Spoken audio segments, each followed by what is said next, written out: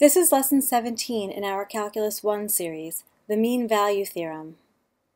The mean value theorem says that if we have a function f that is continuous on the closed interval ab and differentiable on the open interval ab, then there exists a c in the interval ab such that f prime of c is equal to f of b minus f of a over b minus a. Or this last statement can be written f of b minus f of a is equal to f prime of c times b minus a. Now this kind of thing is very useful in more advanced mathematics because it allows us to rewrite an expression like this using a derivative. Or to rewrite a difference like this using a derivative. And that's very useful in mathematics. But here we're just learning the very basics of the mean value theorem and we're going to show existence of these points C, and sometimes find those C values. Now let's take a look at what this is saying. Notice here that f of b minus f of a over b minus a is the slope between these two points on the graph. So this is a secant line slope that we have here. And what we're saying is that there exists an x value, we're calling it c, in this interval so that the derivative at c, the slope of the tangent line at c, is equal to that secant slope. So if this is a and b, then our secant slope f of b minus f of a over b minus a is the slope of this red line. And the mean value theorem is saying if you have a function that is continuous on the closed interval AB and differentiable on the open interval AB, then there's going to exist a C value for which the tangent line has that same slope. That's what the mean value theorem is saying. And so in just a few minutes, we're going to use the mean value theorem to show existence of these points and also solve for a few of them. But first, let's take a look at what could happen if conditions 1 and 2 are not satisfied. If the conditions are not satisfied, there may exist such a C, but it's not guaranteed. So let's take a look. The first condition is that f is continuous on the closed interval AB. So let's take a look at an example where f is not continuous on the closed interval AB. Notice here, I drew this up so that f of a is equal to f of b, and so that secant slope is then going to be equal to 0. But notice there's no point on this function's graph for which the tangent line slope is equal to zero. So there is no such c value in this case.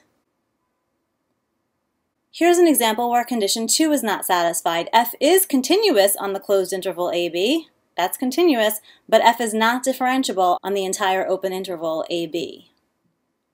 And so again, I've set it up for convenience where f of a is equal to f of b, so that this secant slope is equal to 0. But notice, there are no points on this graph that would have a tangent line with zero slope. So again, this c does not exist in this case. So again, these are just two examples of what may happen if your function does not satisfy the two conditions. Well, let's take a look at this example. Verify that the function satisfies the conditions of the mean value theorem and find all values of c guaranteed by the theorem. So the first thing we have to do is show that f is continuous on the closed interval, and then we have to show that f is differentiable on the open interval. That would mean that it satisfies the conditions of the mean value theorem. So we note that f is a polynomial. It's continuous on the entire real line. So of course it's going to be continuous on this closed interval 0 to 2. Also, we can take the derivative 3x squared plus 1 and this exists for all real numbers. So certainly it exists on the open interval 0 to 2. And so we can say that f is differentiable on 0, 2. So now we've shown that this function satisfies the conditions of the mean value theorem on the interval 0, 2. And therefore, by the theorem, we can say there exists a point C in this interval such that f prime of c is equal to f of 2 minus f of 0 over 2 minus 0. And we're asked here to find such values of c. So let's compute what we have here, f of 2 minus f of 0 over 2 minus 0. Our original function is here. So f of 2 is going to be 8 plus 2 minus 1. That's 9. That's here. f of 0 is equal to negative 1. So we have 9 plus a positive 1. And then we have 2 minus 0 in the denominator, so we have a 2 in the denominator. So we have 10 halves, so we have 5. So this right-hand side, this secant slope is equal to 5. And what do we have here on the left-hand side? We have f prime of c. Well, we know that f prime of x is 3x squared plus 1, so f prime of c is 3c squared plus 1. So the mean value theorem is saying that there exists a c in this interval for which this equation holds true.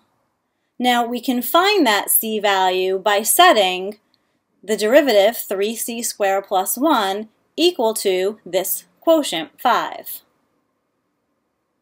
So let's solve here for c. Subtract 1 from both sides, divide by 3, and we have c is equal to positive or negative radical 4 thirds, or positive or negative 2 over radical 3. Now remember that we're asked to find the C values that are guaranteed by the theorem and that we're on the interval 0, 2. So only one of these C values is in that interval and that's the positive 2 over radical 3. And so C equals 2 over radical 3 is the C value we're looking for here. And if you want to check to make sure that 2 over radical 3 is in this interval, well, we know it's a positive number, so we know it's bigger than 0. The question is then, is it less than 2? 2 over radical 3 is going to be less than 2 radical 3 over 3, because we know that radical 3 is bigger than 1. So this is a bigger numerator, which means a bigger fraction. And this is equal to 2. So we get 2 over radical 3 is definitely less than 2. So this c value is in this interval. And so just to check that we answered the question, verify that it satisfies the conditions, we did that, and find all values of c guaranteed by the theorem. Well, there's only one value of c, and that's it. Let's take a look at another. Verify that the function satisfies the conditions of the mean value theorem and find all values of c guaranteed by the theorem. f of x is equal to x over x plus 2 on the interval 1, 4. So again, we have to first show that f is continuous on this closed interval, then show f is differentiable on the open interval 1, 4. Since f is a rational function, we know that it is continuous on its domain. And what is its domain? The only point of the real numbers that's not in this domain is x equals negative 2. So its domain is going to be negative infinity to negative 2, union negative 2 to infinity. And certainly, the closed interval 1 to 4 is contained in this domain. Right? It's contained in this interval here. So f is definitely continuous on the closed interval 1, 4. Now let's take the derivative using the quotient rule. We get 2 over x plus 2 quantity squared. And as a rational function, this exists on its domain, which is the same domain as the original. So certainly, this derivative exists on the open interval 1, 4, which is what we need. And so f is differentiable on the open interval 1, 4. Therefore, by the mean value theorem, there exists a c value in this open interval such that f prime of c is equal to f of 4 minus f of 1 over 4 minus 1. So again, if we want to find this c value, we want to find f prime evaluated at c, that's 2 over c plus 2 squared. That's here. And we want to set that equal to this quotient, this secant slope. And so plugging in 4 and 1 into the original function f, we have 4 over 4 plus 2 and 1 over 1 plus 2. We have 4 sixths minus 1 third over 4 minus 1. This is 2 thirds minus 1 third, so that's 1 third over 3, so that's 1 ninth. So this value of c that we're looking for has 2 over c plus 2 squared equal to 1 ninth. So let's cross multiply and then take the square root. So we have c plus 2 is equal to positive or negative radical 18. And so c is equal to negative 2 plus or minus radical 18 so far. Now notice negative 2 minus radical 18 is going to be a negative number. So that's not going to be in our interval. But let's just check that negative 2 plus radical 18 is in the interval. Well, what kind of number is radical 18? We know that it's between radical 16 and radical 25, so it's between 4 and 5. So if we add a negative 2 to it, that quantity will be between negative 2 plus 4 and negative 2 plus 5. So negative 2 plus radical 18 is between 2 and 3. And so it's definitely in this interval. So this is the c-value guaranteed by the theorem, and this is the c-value we're looking for. c equals negative 2 plus radical 18, and we can write that as c equals negative 2 plus 3 radical 2. Let's take a look at this example. Show that the equation has exactly one real root. Now, it's not clear from reading the problem that we're going to be using the mean value theorem. And also, this is kind of an advanced problem, and so you might not have an idea as to how to start right now, and that's okay. But you should be able to follow through as I go through it. Now typically in mathematics, when we want to show that the equation has exactly one of something, we start by saying, suppose there's two, and we find a contradiction. So that's how we're going to start here. We're going to say, suppose A and B are roots of the equation. And then we're going to do some math on it, and we're going to find that we have an equation that doesn't make any sense. And so that'll be a contradiction. So suppose that a and b are roots of the equation, and let's call f of x 2x minus 1 minus sine of x. Then what we're saying is that f of b is equal to f of a, and that's equal to 0. Now already I see an f of b and an f of a, and so now let's try and see how we can use the mean value theorem here. We know that f of x is continuous and differentiable on the entire real line, so it's certainly continuous and differentiable on AB. So, by the mean value theorem, there exists a c value in this interval such that f of b minus f of a over b minus a is equal to f prime of c. Now we know that this quotient on the left is going to equal 0 because b and a are different, so this denominator is not 0, and f of b is equal to f of a, and they're both 0. So here we're saying there must exist a c value where f prime of c is equal to 0. But notice that for this function, f prime of x is equal to 2 minus cosine x. And so f prime of c equaling 0 means 2 minus cosine c is equal to 0, which means cosine of c is equal to 2. And that's not possible because cosine values are bounded by 1.